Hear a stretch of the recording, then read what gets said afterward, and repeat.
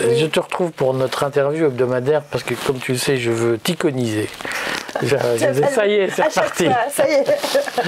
Et en fait, tu sais qu'on lance l'anti-putsch. Demain matin, samedi matin, nous avons une réunion nationale de Rester Libre pour décliner les actions d'anti-putsch qu'on veut mettre en place à partir des 198 actions préconisées par Jean Sharp euh, des actions non violentes. On le redit, le putsch, l'anti-putsch, c'est euh, une action pacifique et non violente qui est destinée à protéger la légalité républicaine contre euh, les agissements d'un pouvoir excessif et de les protéger de façon, j'insiste, je souligne, pacifique et non violente et légale. Ah, l'objectif est de défendre la légalité.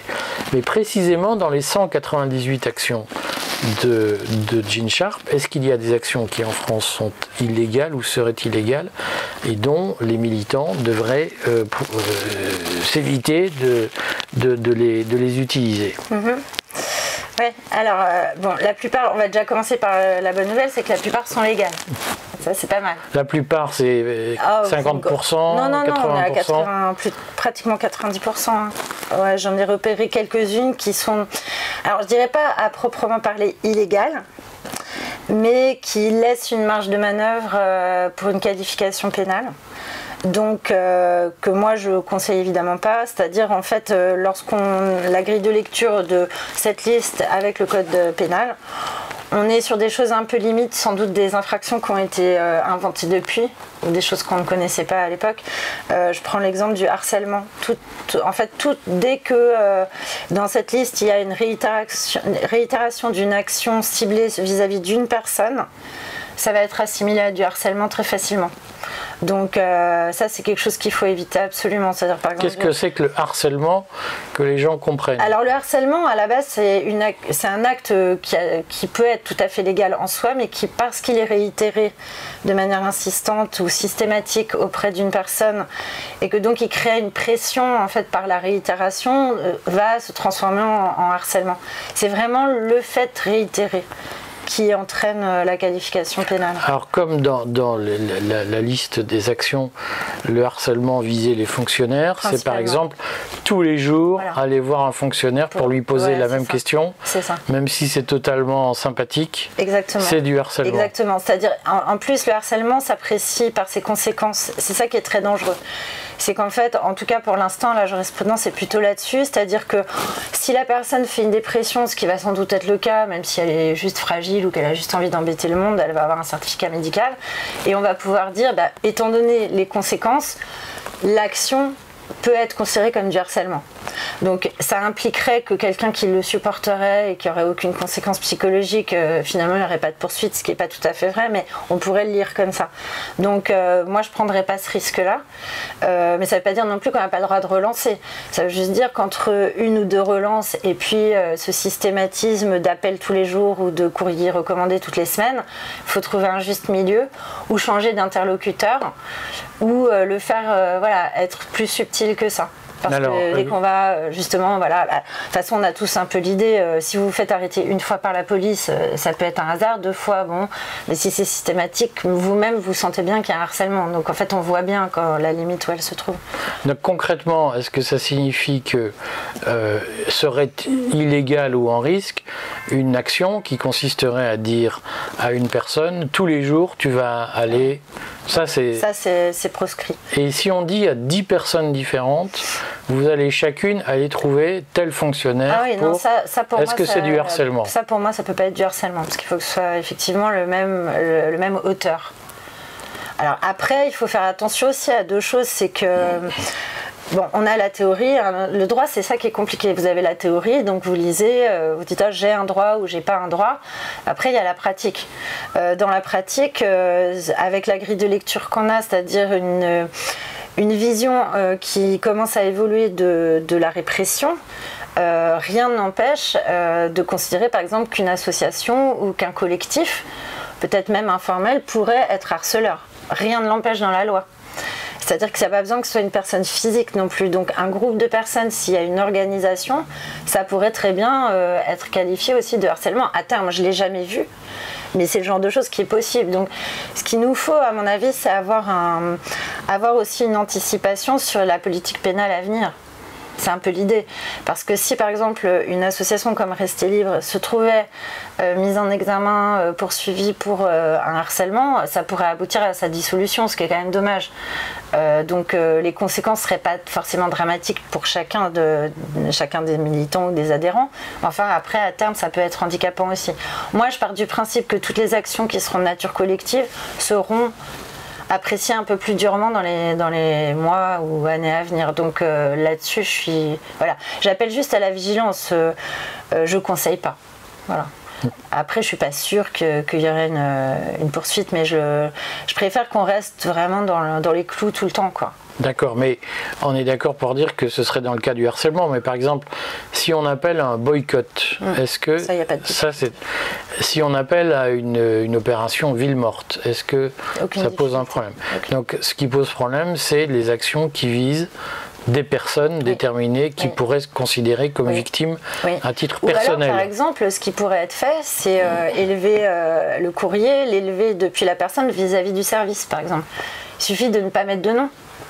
C'est-à-dire finalement c'est la même chose, mais au lieu d'écrire à Monsieur Tartampion, euh, directeur de tel service ou agent de je ne sais quoi, on peut écrire au service. Et là pour le coup on peut écrire 10 lettres par jour ou 1000 lettres par jour, puisque c'est anonyme, enfin il n'y a pas de personne visée. Il n'y a pas de personne visée personnellement. C'est ça.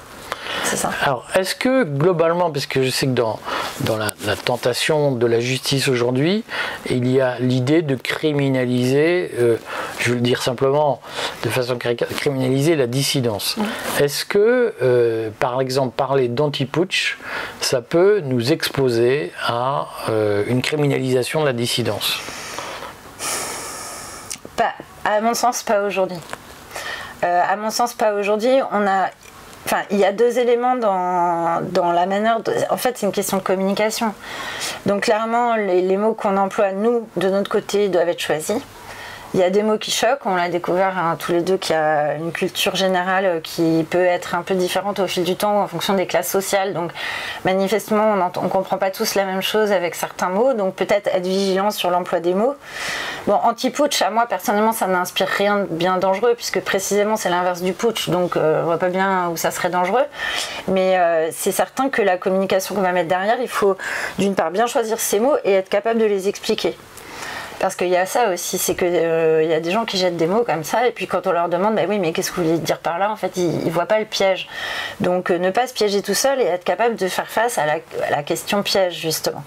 Moi, je ne suis pas gênée par le terme anti-push. Ce que je veux dire, c'est que euh, aujourd'hui, la sensibilité, en tout cas ce que j'ai pu voir hein, sur mes dossiers, la sensibilité des autorités, elle se situe dans le mot qui précède l'action, mais une action objectivement, c'est des actions mortifères, quoi. D'accord, c'est vraiment. Explique-nous ce que ça veut dire. Alors, concrètement. Eh ben, concrètement, euh, si quelqu'un dit euh, bon, il y en a marre de Macron, c'est pas gênant, mais il va falloir maintenant faire quelque chose. Là, par exemple, on est à la limite de la menace de mort. Donc, euh, j'ai vu beaucoup traîner sur les réseaux le procès au pire, il mérite. Bon, tout ça, c'est des prises de position, d'ailleurs, qui ressemblent à des humeurs. C'est pas, pas de la com. Hein, c'est de la mauvaise humeur. Ça, je pense que chacun peut se contenter de le penser. C'est des propos de comptoir, comme on disait. Ouais, voilà. Mais le problème, c'est qu'avec les réseaux, ça prend des proportions. Et comme on sait que les services de police, euh, parce que moi, du coup, je le sais, on a pratiquement toutes les institutions ont mis en place un service de surveillance. Hein, les avocats, on a découvert euh, en septembre 2021 qu'il y avait une cellule à l'ordre des avocats qui surveillait nos, nos, euh, nos publications sur les réseaux par exemple. Bah, c'est une cellule d'avocats, financée par l'ordre ah bah des avocats. C'est des avocats qui surveillent les autres avocats pour voir ce qu'on dit, ce qu'on fait, etc. Donc euh, pour dire que simplement euh, c'est quelque chose qui s'est répandu partout. Donc je sais qu'à la euh, police judiciaire à Paris, dans le 17e, il y a aussi une cellule qui fait que ça. Alors ils suivent des gens spécifiquement, puis après ils font un peu du, ils piquent un peu à droite à gauche, mais donc on est surveillé et ils vont donc avoir une interprétation tout de suite très tendancieuse puisque bah, leur tendance à eux c'est d'interpréter au pire. C'est de justifier leur existence. Aussi. eux, ils diraient que c'est pour prévenir le pire, mais bon, peu m'importe en fait. Hein, le, pourquoi, on s'en fiche un peu. Ce qui est important, c'est de retenir que bah, ils vont sauter sur presque tout.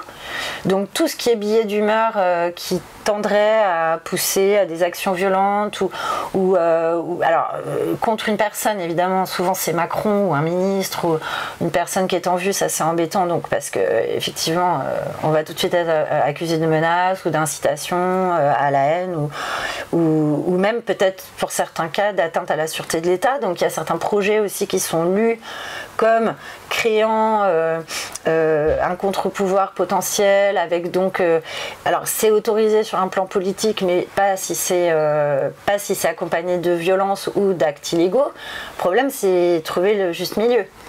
C'est-à-dire euh, la politique, c'est quoi? Est-ce que euh, une, manifestation pacifique, effectivement, bah, c'est pas violent, mais si tout d'un coup il y a des casseurs, est-ce que ça devient une manifestation différente? Donc là, on est toujours à la limite du problème. Et en fait, pour revenir peut-être plus généralement, comment est-ce qu'on va aborder ça? Moi, j'entends dire partout, j'ai un droit à la résistance à l'oppression. Alors c'est vrai, il est inscrit dans la Déclaration des droits de l'homme et du citoyen, il est inscrit dans d'autres euh, textes importants. Mais euh, dès qu'on creuse un peu ce sujet, euh, qu'est-ce que ça peut bien vouloir dire d'avoir le droit de résister à l'oppression et surtout qui va apprécier l'existence de ce droit? Que chacun d'entre nous estime l'avoir, il n'y a pas de problème sur un plan théorique. Mais par définition, si on remet en question les institutions en place, on est forcément hors la loi euh, vis-à-vis d'elles puisque on conteste leur légitimité à nous imposer des choses. En fait, c'est ça, c'est ce rapport de force. Donc, de leur point de vue, on est dans l'illégalité. D'une autre, c'est eux qui le sont. Donc, du coup, on se retrouve à faire le bras de fer jusqu'au moment où quelqu'un va trancher ça. En général, c'est l'histoire. Euh, qui tranche et il ne faut pas rêver, aucun juge euh, ne sera amené un jour à dire vous aviez raison, euh, c'est ce qu'il fallait faire. Donc en fait c'est un droit théorique qui dans la pratique et surtout met les gens en danger en fait. Donc il faut le pratiquer. S'il est pratiqué n'importe comment. Voilà, il faut, d'où il faut le pratiquer avec subtilité.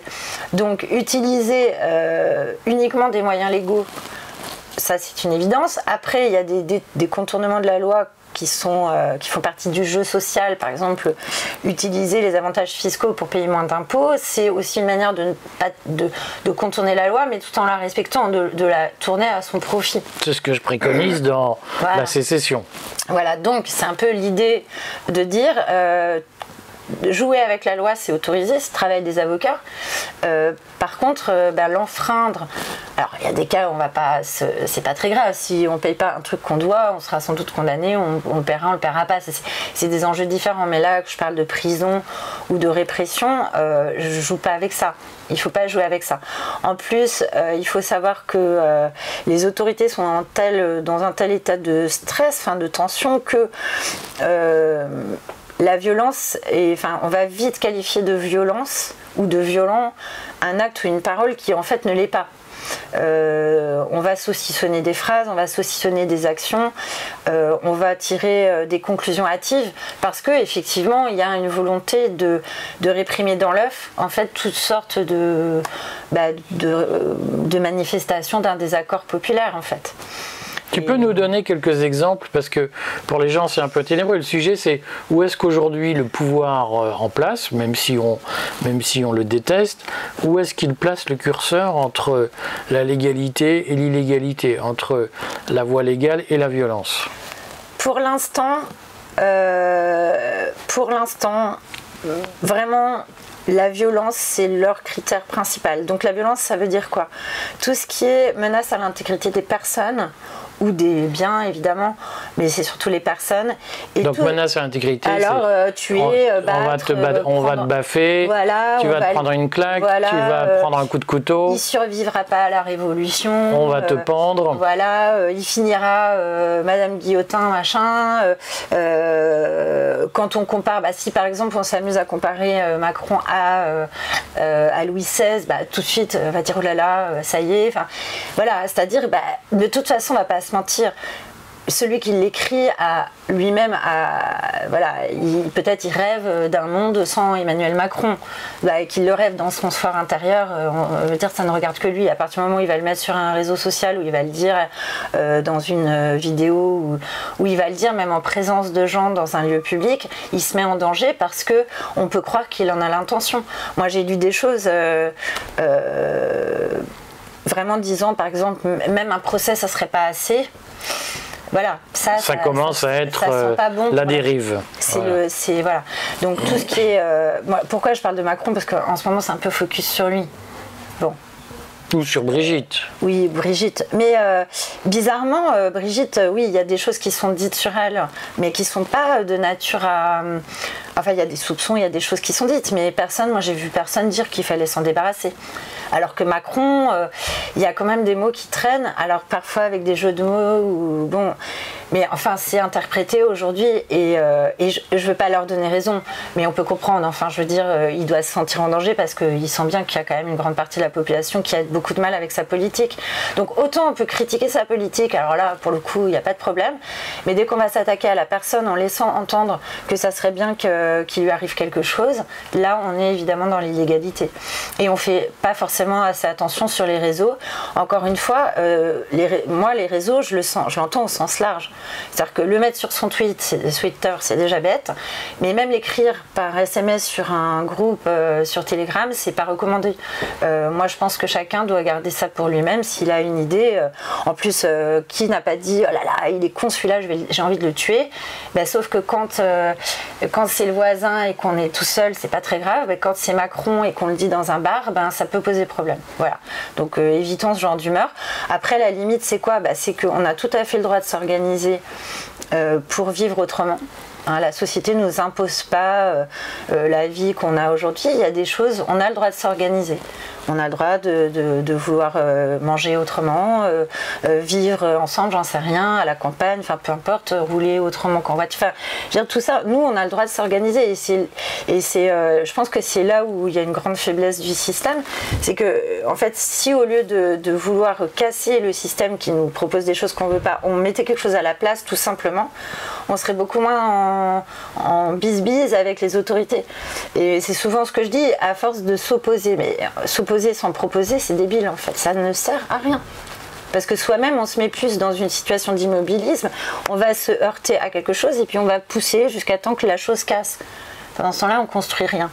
Donc, ce que moi j'apprécie dans tes propositions, c'est, c'est on dit bon, voilà, ça c'est une proposition. N'oublions jamais, on nous propose une organisation sociale, politique, etc. On n'en veut pas, d'accord, mais qu'est-ce qu'on met à la place? Et c'est là où on est intéressant parce que on va contre personne en fait on se repositionne différemment les uns vis-à-vis des autres et en soi-même. Et à partir de là, eh ben, il n'y a, pas de, a pas de problème. La loi ne vient pas vous interdire euh, quoi que ce soit à ce niveau-là. Pas encore. Eh, pas encore. Est-ce qu'il faut se méfier d'un deux poids deux mesures des institutions, de la justice notamment, entre l'activisme des mouvements euh, d'extrême gauche, extinction, rébellion, etc., et les mesures, les, les, pratiques activistes que nous pourrions avoir? Est-ce que les uns bénéficieraient plus d'indulgence que d'autres? Alors oui, bizarrement, euh, enfin c'est pas spécialement bizarre, mais aujourd'hui ça peut choquer, c'est qu'il y a tout un il y a toute une idéologie, alors je sais pas si c'est le mot, mais moi j'aurais tendance à dire ça, hein. c'est euh, une idéologie ou une idée de la société, donc une idéologie sociologique ou je sais pas quoi, d'organisation, euh, euh, notamment des rapports humains, qui, qui semble avoir la faveur des autorités, mais je dirais pas de la justice je dirais plutôt, euh, c'est plutôt les autorités de répression immédiate, c'est-à-dire police, organisation et, donc parquet avec euh, l'opportunité des poursuites. Moi, j'ai pas l'impression au stade des juges qu'on ait encore ce basculement avec ce choix. Euh, je condamne les complotistes anti-vax, mais je laisse filer, je sais pas qui, moi, les woke et je ne sais quoi, qui sont parfois qui sont parfois plus violents d'ailleurs. Hein. On a vu des trucs quand même. Donc non, là-dessus, je, ne suis pas sûre encore qu'on soit là. Euh, faut pas oublier aussi qu'il y a des trucs générationnels. Euh, faut aussi prendre en considération que les gens, nos interlocuteurs, euh, quand ils sont juges, il y a une question de génération. Si on tombe avec un juge de notre génération à nous, il aura quand même du mal à comprendre tout ce, militantisme actuel. Il ne pas forcément, il sera pas forcément enclin à à être plus sympa avec eux. Par contre, euh, on a toute une montée de jeunes juges où là, oui. Qui croient à la eh ben disparition prochaine de la planète. Bah Il faut manger. Apparemment, euh, apparemment, et c'est pas dur sur leur. Euh, parce que pour le coup, ils sont assez open sur leur. On voit la différence. Hein. On les trouve sur internet facilement, sur Copain d'abord et puis leur LinkedIn et tout. Donc on a leur vie. En fait, on voit bien comment ils vivent. que les juges de notre génération, il n'y a rien sur eux sur internet. Il y a juste le décret de nomination. Hein. C'est très clair. Donc moi, ça me permet de naviguer. Et on sent bien que, bah oui, euh, c'est nous qui sommes un peu à la masse, euh, pour eux c'est ça l'avenir, etc. Donc ils ont tendance évidemment à favoriser euh, bah, la culture qui est sous-jacente à leur propre génération, en fait, hein, qui, est, qui, est, un peu dans leur ADN déjà. Donc, et après, c'est vrai que on va voir là, je pense quand même une assez grande. Il y, a, une scission potentielle, mais j'attends de voir entre les autorités de poursuite et puis euh, les autorités de jugement. Euh, on a pu le voir avec l'ordre des médecins. Donc le parquet, le siège. Voilà, c'est-à-dire bah, dire euh, oui, le parquet, bah, ils poursuivent, les policiers arrêtent et les, parquetiers poursuivent parce qu'on leur demande. Mais les juges, il y a quand même un. C'est pas, pas au beau fixe, hein, malgré les propositions récentes de Dupont-Moretti. Je suis pas sûre que le gouvernement des juges, puisque on l'appelle souvent comme ça, il a toujours tendance à être à l'extrême inverse du régime. C'est la balance, hein, toujours. Donc euh, ils vont peut-être pas tout entériner quand même. Après, il euh, n'y a pas besoin d'aller jusqu'au jugement pour être embêté. quoi. C'est ça aussi qu'il faut savoir. C'est qu'on peut être embêté bien avant. Bah si, entre le contrôle judiciaire, les arrestations répétées, les gardes à vue qui n'en finissent pas. Il y a des moyens d'intimider ou d'empoisonner la vie. Euh, Est-ce que tu accepteras de nous accompagner dans cette euh, bah démarche pour éviter, pour rassurer, puisque on a fait un sondage parmi les adhérents, massivement les gens sont intéressés, d'ailleurs par les actions de, masse de type boycott ou euh, mais ils ont tous, beaucoup ont exprimé le besoin d'être formés et encadrés, de bénéficier d'une protection juridique. Mais euh, je pense qu'il faut être. Euh, moi, à l'issue de cette ce petit entretien qui est quand même très théorique et qui nous avance pas forcément beaucoup, quand même, je dirais que le bon sens restera pour chacun de nous la boussole. Quand même, honnêtement, on sait tous quand est-ce qu'on franchit certaines limites que ce soit verbal ou autre, euh, bah, c'est ce, bon sens, il faut le garder comme boussole parce que il est, il est vraiment euh, adapté pile poil en fait. Et puis se dire, est-ce que moi je le prendrais comme une violence? Euh, Voilà. mais non, mais c'est très bête, mais c'est très bête. Mais si vous avez quelqu'un qui. Mais il y a des gens qui n'ont pas de limite, Maude. Non, mais quand même. Non, je crois, moi je crois pas parce que, enfin, quand même, j'ai fait pas mal de, de pénal dans ma vie. Il y a très peu de gens qui sont pas conscients de ce qu'ils font. Ils veulent pas l'admettre, on est d'accord, mais quand même ils le savent au fond que bien choisir ces mots, vraiment, les réseaux, c'est le piège. Moi, moi, un acte que je trouverais euh, parfait, c'est d'arrêter tout ça, en fait. D'arrêter les réseaux bah sociaux. pour moi, ça fait du sens d'arrêter tout ça. D'ailleurs, j'ai commencé en 2023, là, je j'arrive pas, en fait. C'est trop. Non, mais il y aura un balancier. Un bon, on compte sur toi Oui, comptez sur moi. Ouais. ouais, ouais, avant les gardes à vue.